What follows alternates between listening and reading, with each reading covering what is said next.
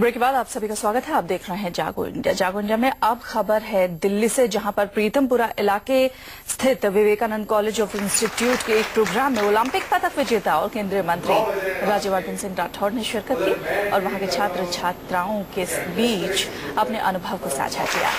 राज्यवर्धन सिंह राठौड़ ने छात्रों को नशे से दूर रहने की भी नसीहत दी।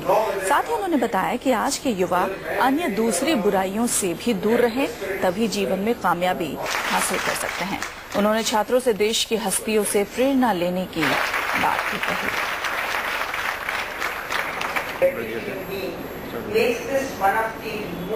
तो ये तस्वीरें हम आपको दिखा रहे हैं, जहाँ पर देखिए इस कार्यक्रम में शिरकत करते हुए राज्यवर्धन सिंह राठौड़ उन्होंने अपने जीवन के कई अनुभव यहाँ पर छात्र छात्राओं के साथ साझा किए।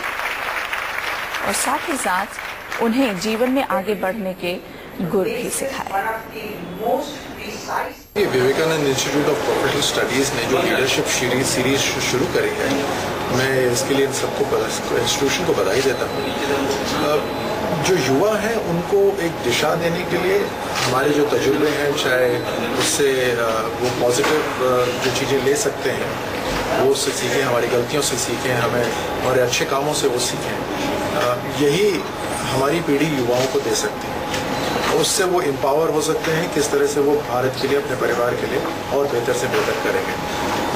इंस्टीट्यूशन के अंदर जो मैं देख रहा हूँ फैसिलिटीज़ बहुत शानदार हैं। इन फैसिलिटीज़ इन ये माहौल पैदा करती हैं, एक वातावरण पैदा करती हैं जहाँ वो अपना हुनर दिखा सकते हैं।